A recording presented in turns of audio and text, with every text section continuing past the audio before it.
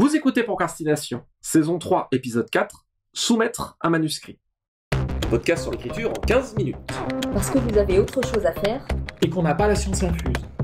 Avec les voix de Mélanie Fazi, Laurent Jeunefort. et Lionel Debus. Alors voilà, vous avez fini euh, l'œuvre de votre vie, Ouf ou l'une des œuvres de votre vie. Vous avez fait lire ça à votre maman et à votre petite sœur, et c'est trop bien.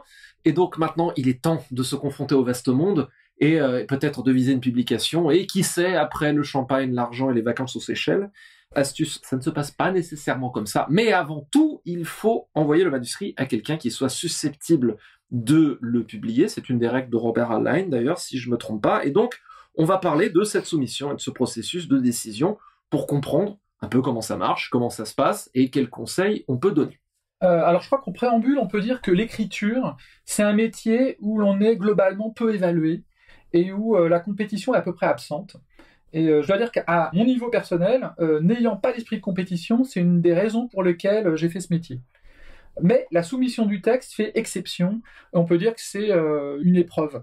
Oui. Si on a un entourage un tant soit peu bienveillant, on n'est pas forcément préparé à, bah, à la, à la marche qu'il peut y avoir pour entrer dans l'édition professionnelle ou semi-professionnelle. Et euh, ça peut être un peu long, mais on en parlera pour réussir à, percer. Le cas échéant, il faut faire œuvre de persévérance. Je pense qu'on le répétera jamais assez. Et donc, on va parler précisément de la manière dont, ça se passe techniquement. Voilà. Alors en fait, chronologiquement, on peut dire qu'il y a cinq points et on va les prendre euh, un par un. Euh, je crois que le premier point est vraiment un des plus importants, ce qui va vous éviter de perdre du temps surtout. C'est sélectionner l'éditeur. Ça je pense que absolument tout le monde est d'accord, c'est le conseil fondamental, c'est pas seulement sélectionner, c'est cibler. Je pense que Oui. le terme vraiment important, c'est Oh oui. cibler. Vous parlez à n'importe quel éditeur, ils ont tous des histoires de euh, livres de cuisine envoyés à des éditeurs de polar ou des trucs absurdes. Ou, Et euh, ils en ont énormément, c'est ça qui fait peur. Et en fait, ce qui fait gonfler le chiffre des, enfin comment dire, ce qui fait baisser le chiffre de l'acceptation. On dit tout le temps le nombre de manuscrits acceptés sur ce qu'on reçoit, c'est, euh, je sais même plus, 1%. après, c'est 1%. Et pourquoi c'est- un pour 1000 qui sont édités. voilà. Pourquoi c'est 1% Parce que dans le tas, il y a, il y a très peu de choses qui sont publiables et correspondent à, à ce Ah, que l'éditeur fait. Voilà. Et euh, alors, quand on dit cibler, qu'est-ce que c'est? Par exemple, demandez-vous, ben, votre livre, est-ce que déjà c'est par exemple un livre de genre À quel genre il appartient? À quel sous-genre, par exemple? Si c'est de la SF, est-ce que c'est du steampunk, de l'Uchronie, euh, de la hard SF Demandez-vous s'il y a déjà des éditeurs qui publient le genre de choses que vous écrivez. C'est Voilà. euh, regarder déjà qui, euh, qui publie quoi, si vous n'avez pas trop d'idées, et essayer de sentir qui pourrait être dans ce style. Alors en fait, c'est un véritable euh, travail, hein, euh, Oui. parce que d'abord, ça sous-entend qu'on a une certaine connaissance euh, du milieu éditorial au sens de euh, savoir euh, quelle est la ligne éditoriale de tel ou tel éditeur. Alors c'est une manière de déjà de choisir les écrivains euh, finalement, parce que ça veut dire que c'est quelqu'un, quelqu'un qui va savoir à qui il s'adresse. C'est déjà quelqu'un qui, qui lit en fait. C'est aussi une manière de voir quels sont les écrivains qui lisent, qui ont une certaine connaissance en fait de ce qui se fait tout simplement. Et l'erreur, je crois, pour un, un écrivain débutant, c'est d'arroser les éditeurs sans discrimination aucune, en misant sur, genre sur un malentendu, ça peut marcher. Et ça Et- ne marche pas. Et ça ne Ça marche, jamais. Oui, non, c'est indispensable de connaître. Alors nous, on est dans, le domaine de l'imaginaire, mais c'est un véritable travail de veille. Un, un écrivain qui a des velléités professionnelles, c'est un indépendant, et donc dans le travail d'un indépendant, il y a la veille. Qu'est-ce qui se fait dans mon domaine Qui publie quoi Quel genre Parce que on parle par exemple de fantaisie, mais de la fantaisie, il y en a plein. Euh, donc quelle sensibilité se retrouve chez les éditeurs, et donc à quoi correspond euh, ce que je fais. Et puis tout simplement, ça va vous éviter d'avoir la déception des refus en série. Et puis vous ferez gagner du temps aux éditeurs aussi. J'ai envie de préciser, je le disais, il y a les questions de ligne, de sensibilité, de, de genre. Il peut y avoir aussi des questions de format, par exemple. Certains éditeurs vont publier des textes très courts, avoir des collections dédiées à des textes très courts. Certains vont publier des sagas. Euh, on n'adresse pas tout à fait les mêmes textes aux mêmes, aux mêmes éditeurs selon ça. Ce qui nous amène sur le deuxième point, qui est d'aller sur le site web. Une fois, par exemple, qu'on a choisi trois éditeurs, on va me dire euh, La Talente, euh, de Noël, et puis Folio. Eh ben, on va sur le site de La Talente, sur le site de, de Folio et sur le troisième site, De Noël, sur le site de Noël. pour connaître les règles de soumission. Parce qu'en fait, les éditeurs, ils sont très conscients de ça. Eux non plus, ils n'ont pas envie de perdre du temps. Et donc, chez la plupart des éditeurs, on a sur leur site des pages de contact, des pages qui sont adressées à l'écrivain désirant soumettre un manuscrit. Et là, il y a les desiderata des, euh, des éditeurs. à respecter comme la Bible, enfin, ou en fonction de votre sensibilité, à respecter comme l'étape de la loi. C'est Voilà. gravé dans le marbre, on ne déroge pas. De la même manière, hein, comme tu disais tout à l'heure, euh, Laurent, sur un malentendu, ça ne passera pas non plus de déroger à ces règles-là. S'il demande ces règles-là, par exemple, ça peut être on veut les 50 premières pages, ou alors on veut trois chapitres, ou alors on veut le bouquin entier, on le veut sous tel format. Il faut le respecter absolument parce que c'est une manière pour l'éditeur de gagner du temps. Donc ça permet à soi d'avoir une réponse plus vite, plus rapide. Et aussi, il arrive que des manuscrits qui dérogent trop aux règles de soumission soient refusés et retoqués d'entrée parce que euh, n'ont pas le temps de s'embêter avec des trucs qui respectent pas les règles qu'on demande. Je dirais ça donne aussi une impression de professionnalisme, je pense, qui est très importante parce que c'est on, on ne vend pas simplement le livre, on vend la future relation de travail qu'on a avec l'éditeur. Et euh, Voilà. je voulais préciser un petit aparté, c'est que ça- il arrive que des exceptions à ligne éditoriale peuvent arriver. C'est quelque chose qui se produit, euh, personnellement, ça m'est arrivé plusieurs fois. Mais c'est quelque chose qui se produit au fil des rencontres ou qui se produit en général plus tard, au fil de rencontres ou d'échanges. On voilà, on parle d'un projet à un éditeur et il est intéressé. D'entrée de jeu, on donne une impression négative si on essaie de forcer. Oui. Euh, si on écrit délibérément pour essayer de provoquer l'exception, on se grille totalement. Oui, parce qu'on parle des soumissions non sollicitées. Hein. Je l'ai pas dit en préambule, mais, euh, mais c'est c'est implicite. Ça fait partie du sous-texte, comme on disait tout à l'heure. Donc, euh, adaptez votre manuscrit pour la présentation. Alors, quand il n'y a pas d'indication, on peut dire que par défaut, et en règle générale, vous formaterez votre texte en Times New Roman 12 pour la casse et puis la, la taille du caractère, en interligne 1,5. Voilà, en fait, c'est tout, d'ailleurs. Des, des marges un petit peu confortables. Ça Des marges aider. normales, mais ceux qui sont par défaut quand on crée un fichier Word. Ouais, Voilà. ça va. ouais. Voilà. Et en cas d'impression, si vous imprimez le texte, mais maintenant de plus en plus d'éditeurs refusent les textes imprimés et veulent des textes qui leur parviennent par mail. Mais euh, si vous imprimez, ne reliez pas.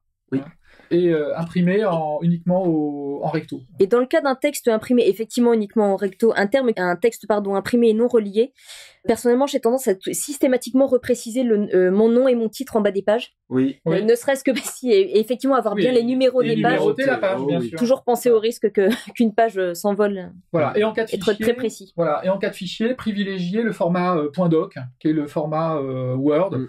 Mais euh, sinon, la plupart des formats habituels, euh, jusqu'au PDF hein, même.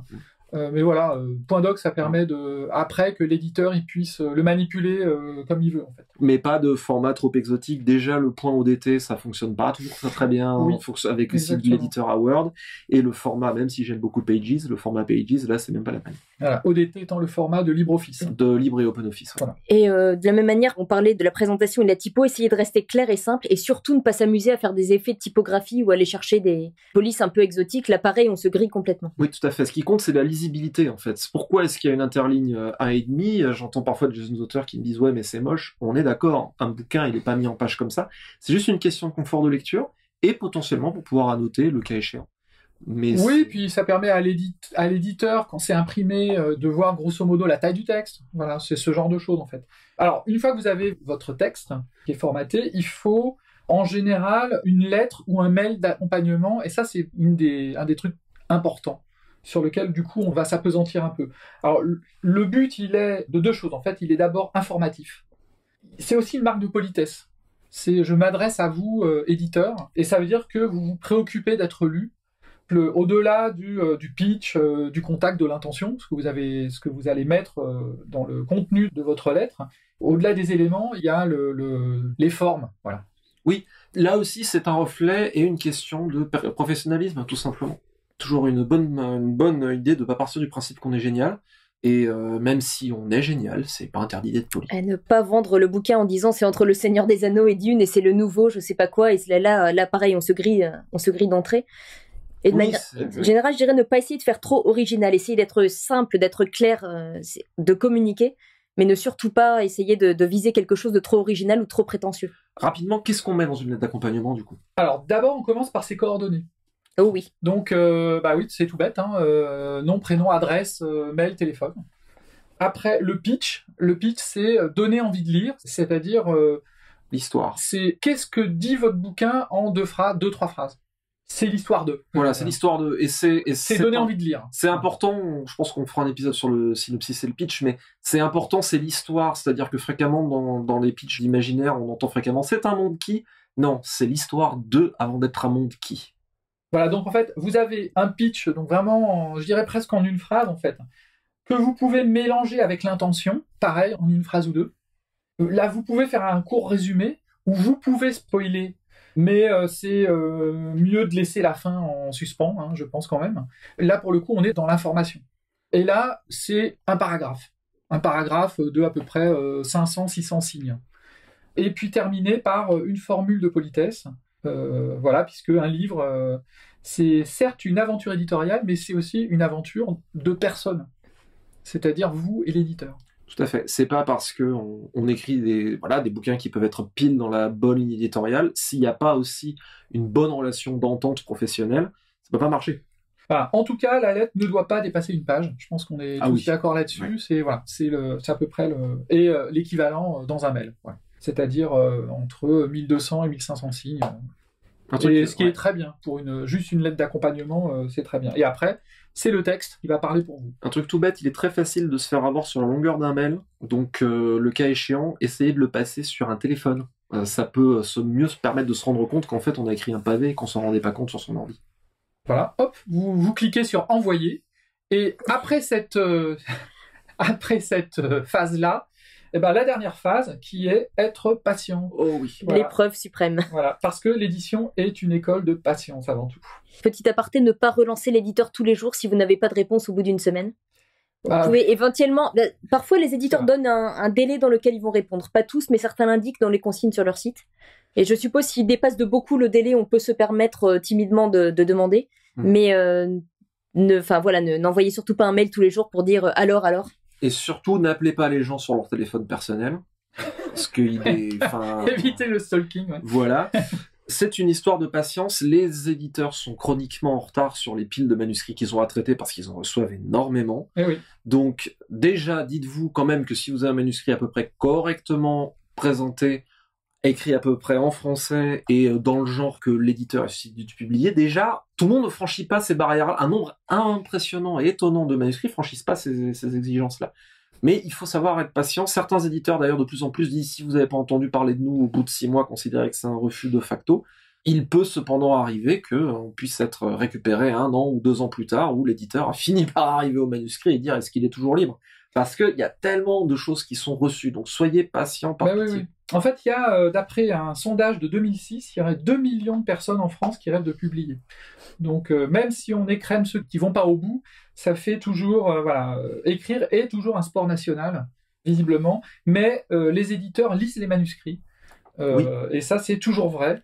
Mais la liste d'attente est immense, et ça, c'est encore plus vrai aujourd'hui. Mais, et, histoire de vous rassurer, l'attente est toujours insupportable, même après 50 ans publiés. Voilà. Oui, sachez-le.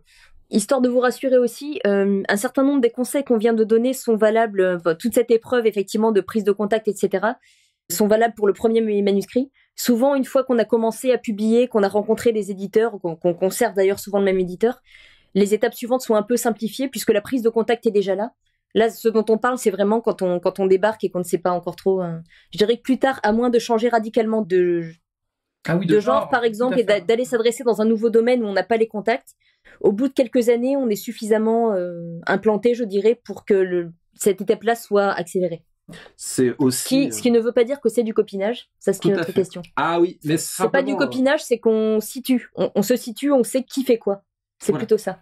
Alors, pour finir, euh, deux petits conseils tout aussi pratiques. C'est éviter de faire certaines choses notamment euh, quand euh, soit dans votre euh, mail ou lettre d'accompagnement, soit dans votre correspondance avec l'éditeur, si vous avez d'autres correspondances, il faut éviter certaines formules. Par exemple, quelle chance vous avez que, je vous, que je vous envoie ce manuscrit? Ou alors, j'ai déposé mon manuscrit chez un avocat au cas où vous me le voleriez.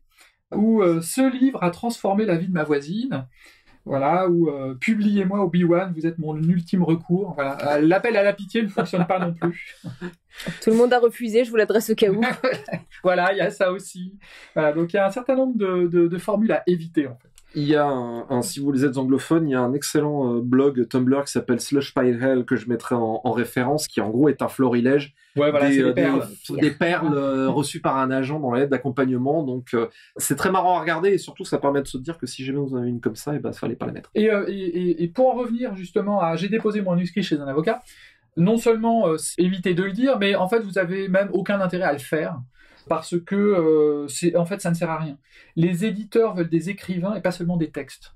Donc ils ne voleront pas votre manuscrit. Eux, ce qu'ils veulent, c'est un écrivain euh, ou une écrivaine qui leur rendra d'autres textes, pas seulement celui-là. Tout à fait. Si on mise sur un auteur en tant qu'éditeur, c'est qu'on espère pouvoir aussi accompagner sa carrière et évidemment, on espère tous que les bouquins marchent et donc il y en aura d'autres et qui marcheront aussi. Ah, donc euh, la citation pour terminer.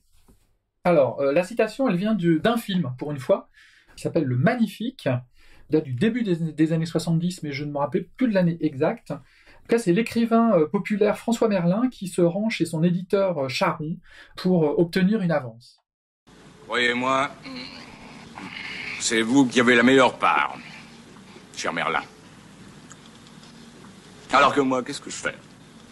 Je reçois ça des manuscrits. 20 par jour. 140 par semaine. Qu'est-ce que vous voulez que je foute de toute cette saloperie? Croyez-moi, vous avez sûrement plus de satisfaction que moi au bout du compte. Vous faites rêver des milliers de gens. C'était Procrastination. Merci de nous avoir suivis. Maintenant, assez procrastiné. Allez écrire.